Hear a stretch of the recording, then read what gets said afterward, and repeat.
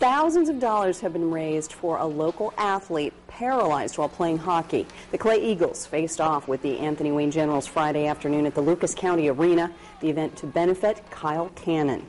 Kyle suffered a spinal cord injury while playing in a game last season for the Eagles. Kyle's dad says the game was extremely important to Kyle.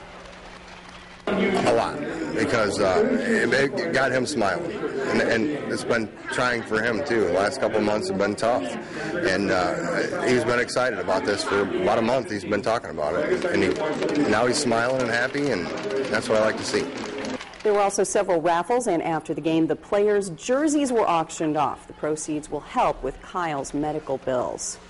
You know what? I heard that over 4,000 people were at that game oh, checking wow. Kyle out. That's so. wonderful. the attendance was so good. Yeah.